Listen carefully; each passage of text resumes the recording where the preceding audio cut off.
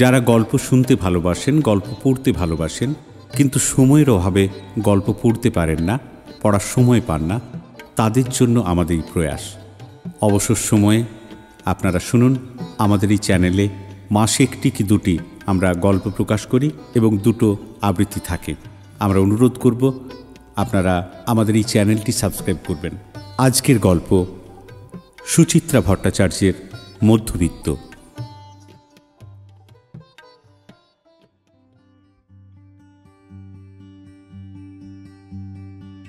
বাড়ি ফিরে ধরাচুড়ো ছাড়ছিল শুভেন্দু। বুধবারটায় বড় কাহিল দশা হয় তার। কলেজ ছুটির পর তিন ব্যাচ টিউশনি থাকে। দুটো অনার্সের ব্যাচ, শুধু নোট দিলেই হয় না, জনাপুরেরও ছেলের সঙ্গে বকতেও হয় বহুক্ষণ। মাথা পুরো মহাশূন্য হয়ে যায়। তারপর মিনিট পঞ্চাশ শহরতরির ট্রেন উঁচিয়ে যাদবপুর। নেমে গদগদে ভিড় ঠেলে চার মিনিট হাঁটা। এরপর কি আর শরীর চলে? অর্চনা ড্রয়িং রুমে কেবল টিভির সিনেমায় মগ্ন। ঝিমলির মাস্টারমশাই এসেছেন। মেয়ে পড়ছে পাশের ঘরে। শব্দ তাই কমানো হয়েছে টিভিতে। তবু মাঝে মাঝে মৃদুমন্দ বাজনা শোনা যায়, গানের কলিও। পর্দা সরিয়ে উঁকি দিচ্ছে সরস্বতী, নতুন কাজের মেয়ে। রাত দিনের ফাইভ ফরমাস খাটার জন্য। মাসখানেক হলো জোগাড় করা গেছে শালির দৌলতে। রায় দিঘি না রায়চোক কোথায় যেন বাড়ি? বছর দশাকেরও বয়স মেয়েটার শ্যামলা রং মুখখানি ভারী ফুটফুটে। শুভেন্দু হ্যাঙ্গারের শার্ট টাঙাতে টাঙাতে বলল কিরে কিছু বলবি? তুমি চা খাবে মামা? কে করবে তুই? মেয়েটা ফিক করে হাসলো আমি চা করতে শিখে গেছি। বাহ তুই তো খুব কাজের হয়ে গেলি রে। আমি গ্যাস জ্বালাতেও শিখে গেছি নেবাতেও পারি। সরস্বতীর লাজুক উচ্ছ্বাসে মজা পেল শুভেন্দু। দিব্যি বুলি ফুটে গেছে মেয়েটার। মনে হচ্ছে এবার অর্চনার কপাল ভালো। মেয়েটা বোধহয় টিকেই গেল। উফ, প্রথম কদিন এই মেয়ে নিয়েও যা ভোগান্তি গেছে। সকাল নেই, সন্ধে নেই, সারাক্ষণ দরজার আড়ালে গিয়ে ফ্যাঁচ ফ্যাঁচ কান্না। খেতে দিলে কান্না, শুতে বললে কাঁদে, টিভি দেখতে ডাকলেও কাঁদে, সে এক জম যন্ত্রণা। অর্চনা তো একসময় ঠিকই করে ফেলেছিল। মেজদির বাড়িতে ফিরিয়েই দিয়ে আসবে সরস্বতীকে। যার নারী ছেঁড়া ধন, সে এসে বাবা ফেরত নিয়ে যাক দেশে। সুখের চেয়ে স্বস্তি ভালো। না শহরে জল বাতাসের গুণ আছে। শুভেন্দু আলগোছে ঘড়ি দেখল, নটা বাজতে দশ। দশটা টিভি সিরিয়াল শেষ না হলে খেতে বসা হবে না। এখন এক কাপ চা খাওয়াই যায়। স্মিতমকে বলল, ঠিক আছে, কর, দেখিস। গ্যাস সাবধানে জ্বালাস। সরস্বতী প্রায় উড়তে উড়তে চলে যাচ্ছিল। কি মনে করে তাকে ডাকলো শুভেন্দু? বলল দিদির মাস্টার মশাইকে জল খাবার দেওয়া হয়েছে? হ্যাঁ মামি অফিস থেকে ফেরার সময় মিষ্টি এনেছিল। মিষ্টি? বিয়াল্লিশ বছরের অল্প ভুঁড়ি হওয়া পেটে আলগা হাত বোলালো শুভেন্দু। এক মুহূর্ত ভেবে বলল হ্যাঁ রে সরস্বতী তুই ওমলেট বানাতে পারিস? অমলেট? হ্যাঁ ডিম ভাজা। বোকা বোকা মুখে দুদিকে ঘাড় নাড়ল সরস্বতী। এত সিম্পল কাজটা এখনও শিখিসনি। শুভেন্দুর মুখে আফসোসের শব্দ। খুব সোজা রে ডিমটাকে ফাটিয়ে গুলে একটু নুন দিয়ে ভাজতে হয়। সসপ্যানে এক চিমটি তেল দিয়ে নিবি। তেল গরম হলে ডিম ছাড়বি। সঙ্গে একটু পেঁয়াজ কুচি লঙ্কা কুচিও দিতে পারিস। না দিলেও চলে। সরস্বতী মন দিয়ে শুনছে কিন্তু কিছু বুঝছে বলে মনে হয় না। শুভেন্দু হেসে ফেলল থাক তুই আমাকে বরং দুটো বিস্কুট দিস। মিষ্টি বিস্কুট না নোনতা বিস্কুট? নোনতা। সরস্বতী চলে যাচ্ছিল।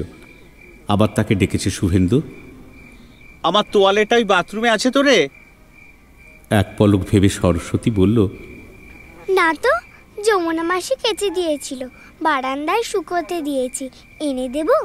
হুম চা করার আগে ওটা একটু বাথরুমে রেখে দিয়ে যা কেমন? নব্বই ডিগ্রি ঘাড় হেলিয়ে চলে গেল সরস্বতী।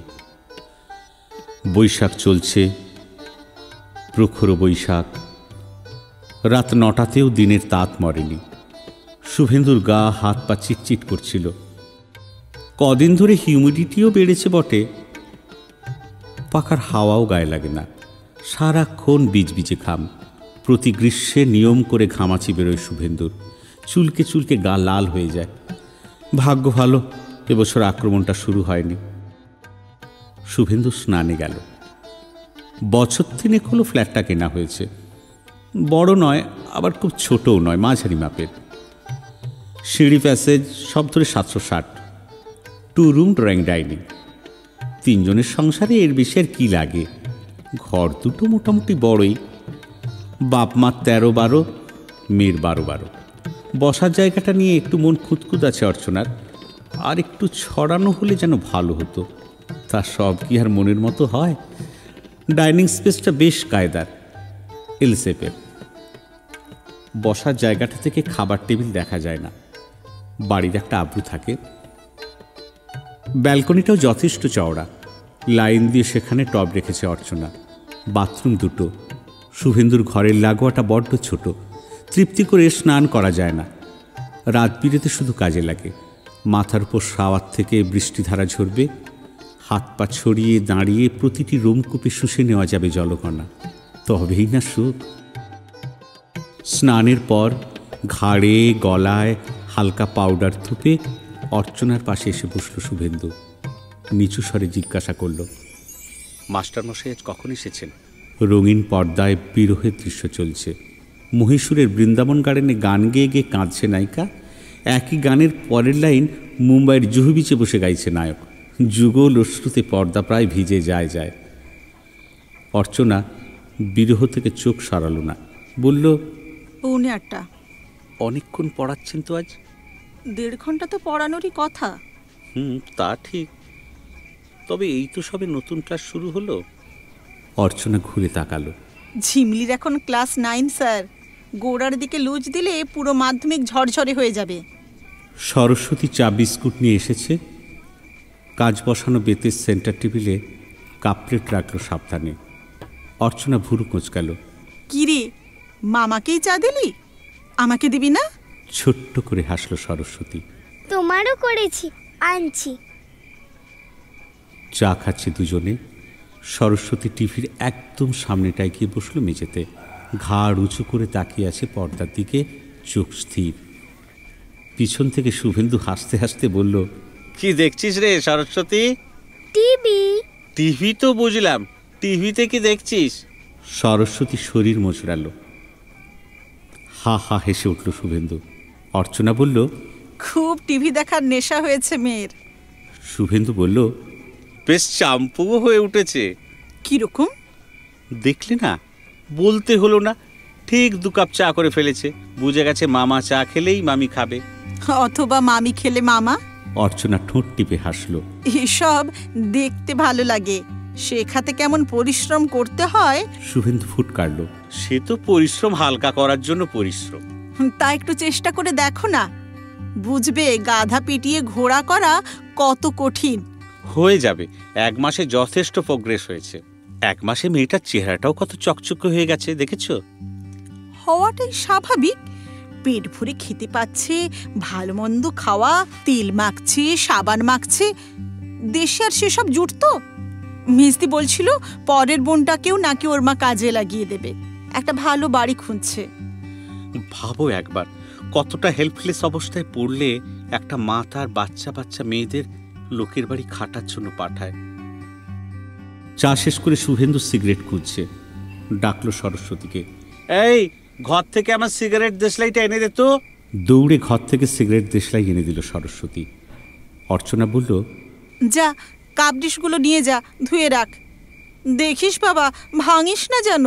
অতি সন্তর্পণে কাপ ডিশ নিয়ে চলে যাচ্ছে সরস্বতী। সেদিকে তাকিয়ে সিগারেট ধরাল শুভেন্দু। ধোঁয়া ছেড়ে বলল তোমাকে বলি না মাঝে মাঝে আমরা হলাম গিয়ে প্রিভিলেজ ক্লাস সুন্দর ফ্ল্যাটটাকে হাঁকিয়ে বসে আছি, মেয়েকে নামি স্কুলে পড়াচ্ছি, বছরে দুবার পুরী সিমলা ঘুরছি। আমাদের একটা মেয়ের পেছনে খরচা কত বলো? হাজারের ওপর। আর এই মেয়ে?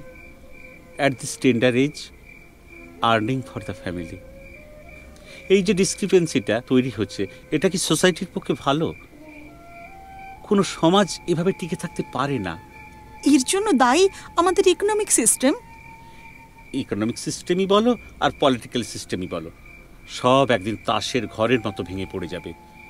দেশের এইট্টি পার্সেন্ট লোক পোভার্টি লাইনের নিচে থাকবে আর কুড়ি পার্সেন্ট লোক বসে বসে পোলাও মাংস খাবে। এটা কোনো কাজের কথা? ঝিমলির মাস্টারমশাই বেরিয়ে গেলেন। মাস্টারমশাইকে এগিয়ে দিয়ে তড়াং করে টিভির সামনে এসেছে ঝিমলি। ইস, তোমরা চ্যানেল ঘোরাওনি এখনও আদিকালে একটা ফিল্ম দেখছ বসে বসে? বলেই টকটক সেন্টার ঘোরাচ্ছে। মনোরম এক শ্যাম্পুর বিজ্ঞাপনে এসে থামল। এক্ষুনি এখানে সিরিয়ালটা শুরু হবে। অর্চনা হাঁক দিল সরস্বতী ফ্রিজ থেকে তরকারিগুলো বার করে ফেল। রান্নাঘর থেকে মিহি গলায় উত্তর এলো দেখেছি মামি। গুড যখন বলব তখন গরম করে ফেলবি। ঝিমলি শুভেন্দুর পাশে এসে বসেছে। শুভেন্দু মেয়ের চুল হেঁটে দিল পড়তে পড়তেও তোর মাথায় সিরিয়াল করে নাকি? এই সিরিয়ালটা খুব ভালো বাবা। কলেজের ছেলে মেয়েদের নিয়ে। ঝিমলি পা দোলাচ্ছে। জানো বাবা আমাদের স্কুলে একটা নতুন প্রোগ্রাম শুরু হয়েছে। লিটারেসি ক্যাম্পেন বাহ এ তো খুব ভালো জিনিস। আমাদের মোটো হয়েছে ইচ ওয়ান টিচ ওয়ান তুই স্টুডেন্ট পাবি কোথায়? সাঁড়াশি নিয়ে ধরতে বেরোবি? হাসিতে লুটিয়ে পড়ল ঝিমলি। মা তা কেন? আমার তো কত সুবিধে। স্টুডেন্ট ঘরেই রয়েছে। সরস্বতী অ কক কিচ্ছু জানে না। ওকেই পড়াবো। অর্চনা প্রশ্ন করল। এর জন্য তোদের নম্বর আছে? না নম্বর নেই। তবে স্কুল থেকে একটা সার্টিফিকেট দেবে। অর্চনা সন্দিগ্ধ চোখে তাকালো। স্কুল কি করে বুঝবে যে তুই সত্যি সত্যি পড়িয়েছিস? আমাকে প্রুফ দিতে হবে। সরস্বতী লিটারেট হয়ে গেলে স্কুলে নিয়ে গিয়ে ওকে দেখাতে হবে। স্কুল ওর পরীক্ষা নেবে। বলতে বলতে গলা তুলেছে ঝিমলি। এই সরস্বতী এদিকে শুনে যা। সরস্বতী গুটি গুটি পায়ে সামনে এসে দাঁড়াল। ঝিমলি বলল কিরি তোর সঙ্গে আমার কথা হয়ে গেছে না? সরস্বতী ঘাড় নাড়ল। কাল থেকে কিন্তু পড়তে বসতে হবে। আবার ঢক করে ঘাড় নাড়ল সরস্বতী। ঝিমলি বলল বাবা, আমাকে কাল কিছু টাকা দিও তো। ওর জন্য কয়েকটা এলিমেন্টারি বই কিনতে হবে। স্লেট, পেন্সিল, খাতাও। মেয়ের কথা শুনতে শুনতে মুক্ত হচ্ছিল শুভেন্দু। গর্বিত দৃষ্টিতে অর্চনার দিকে তাকালো। যেন বলতে চাইল, এই না হলে আমার মেয়ে? নগণ্য ওই গরিব মেয়েটাকে লেখাপড়া শেখানোর কথা মনে এসেছে ঝিমলির। এর থেকেই বোঝা যায়, ঝিমলির মধ্যে মানবিক গুণের বিকাশ হচ্ছে ঠিক ঠিক। দরাজ গলায় শুভেন্দু বলল কত টাকা লাগবে তোর? নিয়ে নিস। খাতার ডাই নিয়ে বসেছি শুভেন্দু। বিয়ে পরীক্ষার খাতা গরমের ছুটির মধ্যে ইউনিভার্সিটি পাঠিয়ে দিয়েছিল।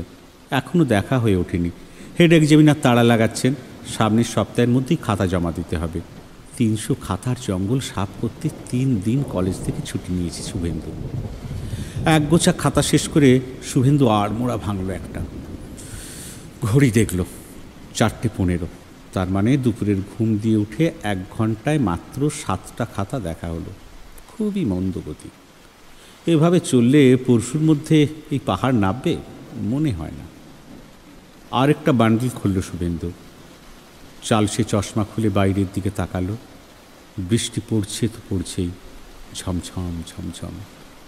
আষাঢ় মাসটা শুকা গিয়ে এবার গোটা বর্ষা যেন শ্রাবণে এসে চাক বেঁধেছে। বিকেল হলেই এখন ঘন আধার তাকালেই মাথা ধরে যায়। চশমা আবার চোখে লাগিয়ে শুভেন্দু খাতায় ঝুঁকল। একটা হাঁকও পারল সঙ্গে সঙ্গে। সরস্বতী এই সরস্বতী কিরে আমায় চা দিবি না? চিকন গলার জবাব ভেসে এলো। দিচ্ছি মামা এই অঙ্কটা করে নি। খাতায় লাল পেন্সিল চালাতে চালাতে শুভেন্দু চেঁচালো। পাঁচ মিনিট পরে অঙ্ক কষলে তোমার মহাভারত অশুদ্ধ হয়ে যাবে না। আগে আমার চা দাও। তিন মিনিটে চা এসে গেল।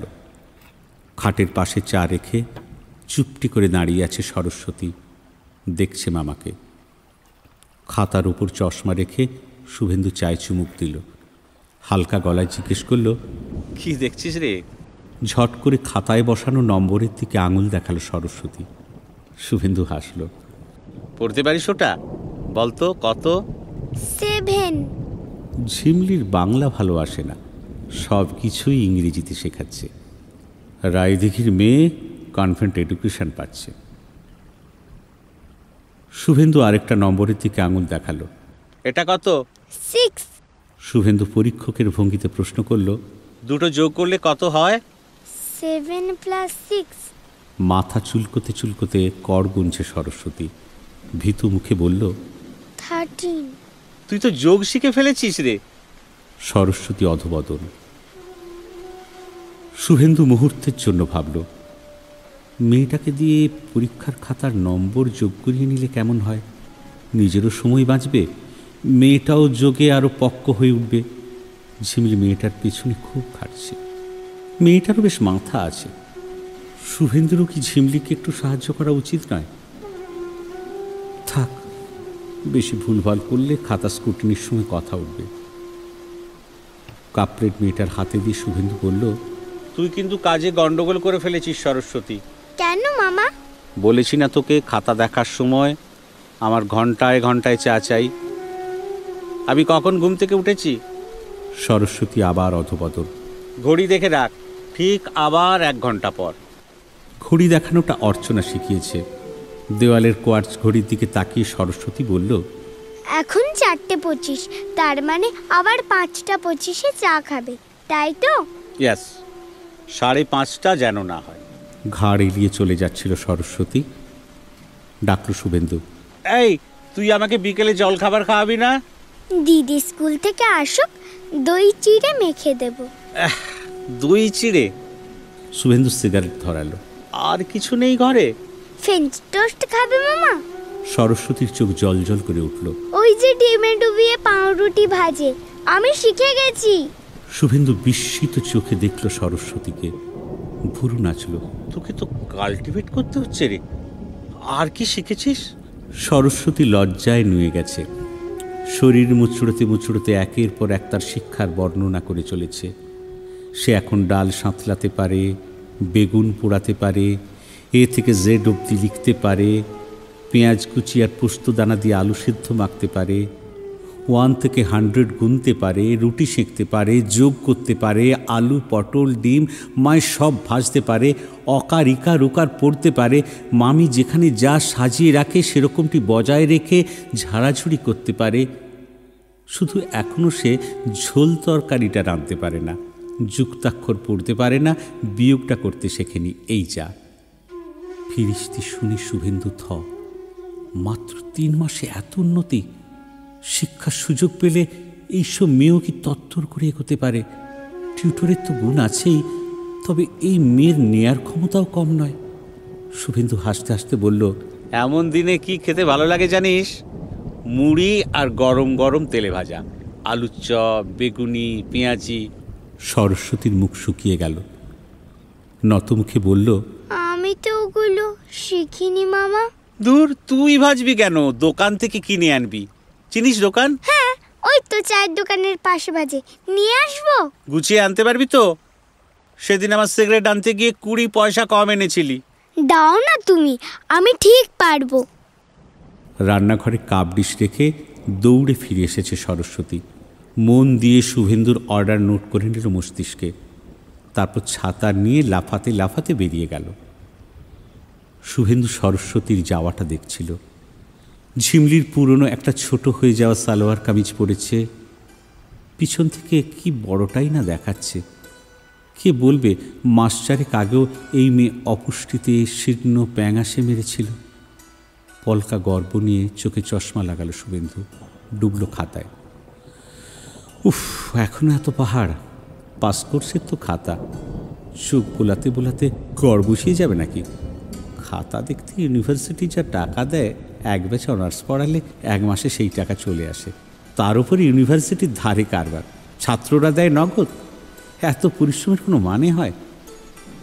একটা খাতাও দেখা হলো না। হুটোপুটি করে এসে গেছে ঝিমলি। সর্বাঙ্গ বর্ষাতিতে মোড়া, মাথায় ঘোমটা টুপি, জল ঝরছে অঝরে। টুপি রেনকোট খুলে খাবার টেবিলের দিকে ছুঁড়ে দিল ঝিমলি। চেঁচাচ্ছে। বাবা তুমি এখন সরস্বতীকে দোকানে পাঠালে? কেন? কি হয়েছে তাতে? ওর এখনও অঙ্ক শেষ হয়নি? ফিরে এসে করবে। বারে তাহলে আজকে টাস্ক দিব কখন? সন্ধেবেলা দিস। সন্ধেবেলা ওকে ইংলিশ পড়তে হবে। স্পেলিং শেখাচ্ছি এখন। ঝিমলির স্বরে বিরক্তি। উফ তুমি যে কি করো না? এভাবে পড়লে ওর পড়াশুনো এগোবে। শুভেন্দু একটু আহত হলো। গম্ভীর স্বরে বলল যথেষ্ট পড়ছে। তুমি ওকে নিয়ে বেশি বাড়াবাড়ি করো না। তোমার নিজের ক্লাস টেস্টের নম্বর কম হচ্ছে। সেদিকে খেয়াল আছে? বিস্মিত মুখে দরজা এলো ঝিমলি সে তো আমার জ্বর হয়েছিল তাই। এর আগেও তুমি জ্বর নিয়ে এর থেকে ভালো টেস্ট দিয়েছ। শুভেন্দু একটু নরম হলো। ওকে নিজের মতো করে পড়তে দাও। ও এখনই যা শিখেছে ওদের ফ্যামিলিতে কজন তা শেখে? চান্স পায় না তাই শিখতে পারে না। কেন চান্স পায় না? গরিব বলে। ইয়েস ওই কথাটা মাথায় রেখো। ওদের খেটে খেতে হয়। শুয়ে বসে পড়াশোনার মতো লাক্সারি অ্যাফোর্ড করার ক্ষমতা ওদের নেই। কেন নেই বাবা? এ তো অনেক জটিল সমাজতাত্ত্বিক ব্যাপার তুমি বুঝবে না। বুঝিয়ে বলো। শুভেন্দু লেকচারের ঢঙে গলা ছাড়ল। এই সমাজে দু ধরনের মানুষ আছে। একদল হলো শোষক আরেক দল হলো শোষিত। যারা শোষক তারা শুধু শোষিতদের রক্ত চুষছে। এই সরস্বতী বা ওদের মতো যারা আছে তারা হলো শোষিত ক্লাস। ঝিমলির মুখে যেন ছায়া পড়ল। উদ্বিগ্ন স্বরে প্রশ্ন করল শোষক কারা বাবা? আমরা? দূর আমরা কেন হতে যাব? শুভেন্দু হোঁচট খেল। তা তারা ভীষণ বড় লোক। তাদের চোখে দেখা যায় না। আমরা হচ্ছি পেটি মিডল ক্লাস মধ্যবিত্ত। ঝিমলি বুঝি নিশ্চিন্ত হলো খানিকটা। হাসি মুখে বলল তাহলে ওদের শিক্ষিত করতে আমাদের অসুবিধে কোথায়? ওভাবে হয় না রে। এর জন্য বিপ্লব দরকার। রেভলিউশন। তখন সব কিছু বদলে যাবে। শুভেন্দু আগুন তুলল। ভিজে জুতো পরে দাঁড়িয়ে আছিস কেন? ঠান্ডা লেগে যাবে যে। যা জামা কাপড় বদলে আয়। সরস্বতী গরম গরম তেলে ভাজায় আনছে। যা জমবে না বিকেলটা। ঠোঙা ভর্তি তেলে ভাজা নিয়ে ফিরল সরস্বতী। সর্ষের তেল দিয়ে পরিপাটি করে মুড়ি মাখল। শুভেন্দুর পছন্দ মতো পেঁয়াজ, শশা কুচি কুচি করে ছড়িয়ে দিল মুড়িতে। রান্নাঘরের শিশিটিতে বাদাম থাকে। খোসা ছাড়িয়ে বাদামও মিশিয়ে দিয়েছে। ঝিমলি সোফায় বসে মুড়ি তেলে ভাজা খাচ্ছে। সরস্বতী ঠোঙা নিয়ে বসেছে। তার পায়ের কাছে অঙ্ক কষছে। শুভেন্দুর খাতা দেখায় মন বসছিল না। একটা দুটো মুড়ি ছুঁড়ছে মুখে। বুকে কি যেন একটা খচখচ করছিল শুভেন্দুর বুকে না মস্তিষ্কে আরেক কাপ চা খেতে ইচ্ছে করছে। সরস্বতীকে ডাকতে গিয়েও ডাকলো না। তিতকুটে মেজাজে খাতা দেখতে গিয়ে তিন তিনটে ছেলে ফেল করে গেল। কি যে সব লেখো ছাই পাস ইতিহাসের একটা বেসিক সেন্স পর্যন্ত নেই। কোন কলেজের খাতা কি জানে? ঘোর বর্ষায় সিক্ত হয়ে ফিরল অর্চনা। বাজ পাখির চোখে জরিপ করল ঘরদোর। সরস্বতীকে দিয়ে শুকনো জামা কাপড় আনালো ঘর থেকে। পোশাক বদলে বাথরুম থেকে মাথা মুছতে মুছতে বেরিয়ে এলো। বর্ষা তার ভারী পছন্দের ঋতু। পাখির মেজাজে বসল শুভেন্দুর পাশে। লঘুস্বরে বলল কি গো তোমার আর কদ্দূর? পাশে পড়ে থাকা বান্ডিল টেরচা চোখে দেখে নিল শুভেন্দু। সদুই হবে। কেন যে আগে থেকে দেখো না রোজ দশটা বিশটা দেখলেও তো চাপ অনেক কমে যায়। শুভেন্দু বলতে পারত কলেজ টিউশনি সেরে এসে শরীরে শক্তি থাকে না। বলল না। পাল্টা প্রশ্ন করল চেকটা জমা করেছ হাউস বিল্ডিং লোনের? অর্চনা চিরুনি বোলাচ্ছে মাথায় না আজ দেওয়া হয়নি। অফিসে কাজ ছিল লোকজনও আজ কম এসেছিল। এ কি রেসপন্সিবিলিটি শুভেন্দু হঠাৎ তেতে গেল আজ লাস্ট ডেট ছিল না এরপর ওরা যদি এক্সট্রা ইন্টারেস্ট চার্জ করে? বারে আমার অফিসে কাজ থাকতে পারে না? বলছি তো কালকে দিয়ে দেব। সরকারি অফিসে আর কাজ দেখিও না। পাঁচ মিনিটের জন্য বেরোবে অফিস থেকে পাঁচ পা গিয়ে চেকটা দিয়ে আসবে। তাতেও গড়িমেশি তোমাকে দায়িত্ব দেওয়াটাই ভুল হয়েছে। নিজে গেলেই পারতে? ঘুমিয়ে ঘুমিয়ে চোখ না ফুলিয়ে তাও সংসারের একটা কাজ হতো। নাকের পাটা ফুলে গেল শুভেন্দু। আর একটা ছেলে উনত্রিশে আটকে গেল। পাশের খাতা স্তূপ দেখিয়ে বলল ঘুমোচ্ছিলাম। তাহলে এত খাতা শেষ করল কে? ছুটি কি আমি মুখ দেখতে নিয়েছি? ন্যাকামোর কথা বলো না। ন মাস তো ছুটিই থাকে। তারপর আবার খাতা দেখার বাহানায় ছুটি নেওয়ার ঢং। খাতা তো ফেলে দিয়ে গেছে সামারে। এতদিন বসে বসে আঙুল চুষছিলে কেন? অনেক জবাবই ঠোঁটের ডগায় ছিল শুভেন্দুর। অর্ধেক গ্রীষ্মের ছুটি তো তার মেয়ে, বউ নিয়ে নৈনিতা লালমোড়া, কৌশানী, রানীক্ষেত ঘুরতে ঘুরতেই কেটে গেল। তারপরও কম ফ্যাচাং গেছে। দাদার মেয়ের পাকা দেখা, ছোট শালার জন্য পাত্রী দেখতে দুর্গাপুর ছোটা। অর্চনার তলপেটে একটা যন্ত্রণা হচ্ছিল তাকে নিয়ে ডাক্তারের কাছে দৌড়নো এই টেস্ট ওই টেস্ট এগুলো কি কাজ নয়? ছুটি না পচিয়ে তার বদলে তিনটে দিন প্রাপ্য সিএল নিয়ে এই বিশাল জঞ্জাল সাফ করছে শুভেন্দু তাতেও অর্চনার গাত্রদাহ। শুভেন্দু হুঙ্কার দিয়ে উঠল এই সরস্বতী! পড়িমড়ি করে ছুটে এসেছে মেয়েটা সভয় দেখছে মামা মামিকে। শুভেন্দু কড়া গলায় বলল আমাকে আবার কটার সময় চা দেওয়ার কথা ছিল? ঘড়ি দেখে মাথা নামালো সরস্বতী। গেছে মামা। দিদি বলল আগে অঙ্ক করে দেখাতে। অঙ্কের নিকুচি করেছে। যাও চা করো গিয়ে। মামি অফিস থেকে ফিরেছে। তাকে কে জল খাবার দেবে হ্যাঁ? ঘাড় ঝুলিয়ে চলে গেল সরস্বতী। পিছন পিছন অর্চনাও রান্না করে গেছে।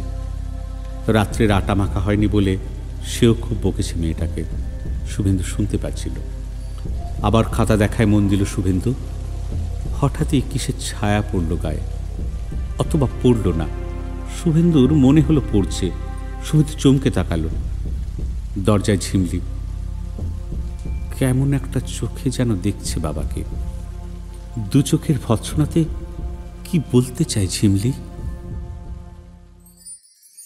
পুজোর ছুটির পর সবে কলেজ খুলেছে। কলেজ কোচিং সেরে শুভেন্দু বাড়ি ফিরে দেখল, অর্চনা মুখ হাঁড়ি করে বসে আছে ড্রয়িং রুমে।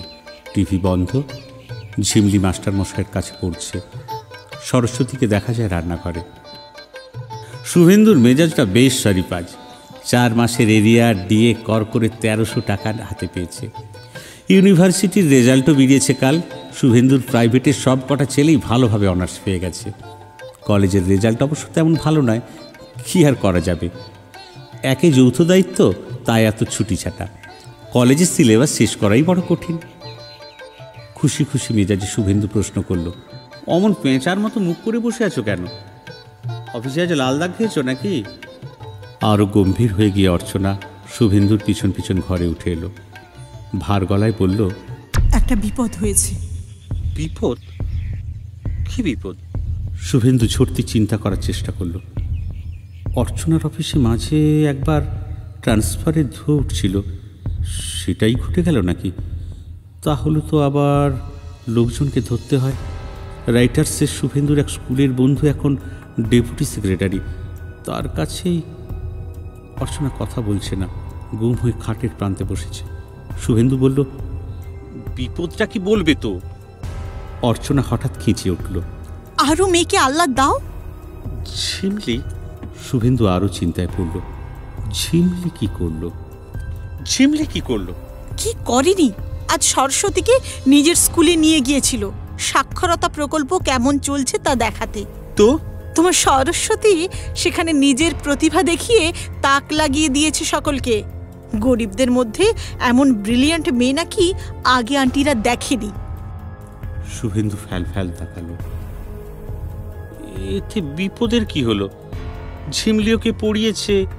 এ তো ঝিমলিরই ক্রেডিট এইটুকু হলে তো কথা ছিল না। তোমার মেয়ে এখন প্ল্যান করেছে সরস্বতীকে স্কুলে ভর্তি করাবে।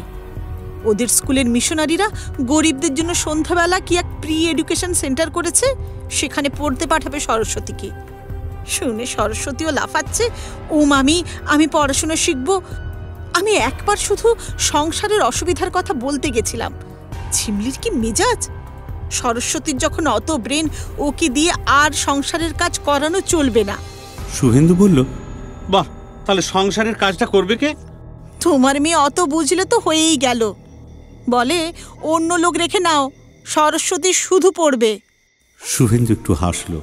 তার মানে সরস্বতীকে আমাদের পুষ্যি করে নিতে হবে তাই তো? মানে তো সেরকমই দাঁড়ায়।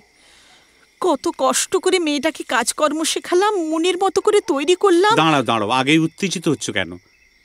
আমি কথা বলে দেখছি ঝিমলির সঙ্গে বুঝিয়ে বলছি। না বুঝিয়েও লাভ হলো না কোনো। ঝিমলি নিজেই নাইট স্কুলে নাম লিখিয়ে দিয়ে এসেছে সরস্বতীর। গরিব সরস্বতীকে সে প্রকৃত শিক্ষিত করে তুলবেই। ঝিমলির বিশ্বাস তার বাবা মাও এ কাজে নিরুৎসাহিত করবে না তাকে। একটা মাত্র সরস্বতীকে শুভেন্দুরা কি পারে না লেখাপড়া শিখিয়ে মানুষ করে তুলতে? রাত্রে অর্চনা ঠান্ডা স্বরে বলল কি গো? কি করবি ঠিক করলে? শুভেন্দু চিন্তিত মুখে বলল কিছু একটা তো করতেই হবে। ঝিমলিটা তো বাড়াবাড়ি করে ফেলবে কে জানতো? সরস্বতী কি ধমকে ধামকে ঠিক করব? না না সেটা খুব অমানবিক কাজ হয়ে যাবে। তাহলে আর কি। আমি অফিস থেকে ফিরে খেটে মরি আর কাজের লোক পায়ের উপর পা তুলে দিগ্গজ হোক। শুভেন্দু বিরক্ত হলো। আমাকে একটু ভাবতে দাও। সরস্বতীর মা এসেছে সরস্বতীকে নিয়ে যেতে। এ বাড়িতে আর তাকে কাজে রাখবে না। অন্য কোনো বাবুর বাড়িতে আরও নাকি পঞ্চাশ টাকা বেশি মাইনেতে কাজে লাগাবে মেয়েকে। যাওয়ার আগে সরস্বতী কাঁদল খুব ঝিমলি ছলছল চোখে ঘরের দরজা বন্ধ করে বসে রইল, স্কুলে গেল না। শুভেন্দু আর অর্চনা চুপ। সরস্বতীর মাকে ডেকে পাঠানো ছাড়া আর কী বা উপায় ছিল শুভেন্দু অর্চনার? মেজদি কোনো বান্ধবীর বাড়িতে সরস্বতীর জন্য নতুন কোনো কাজের ব্যবস্থা করেছে। শুভেন্দুর জন্য শিগগিরই এক বয়স্ক মহিলাকে পাঠিয়ে দেবে। এসব কথা তো ঝিমলিকে জানতে দেওয়া যায় না। সরস্বতী নামের ওই ছোট্ট গরিব মেয়েটাকেও মুখের ওপর বলা যায় না কিছু। মধ্যবিত্ত হওয়ার কি যে জ্বালা।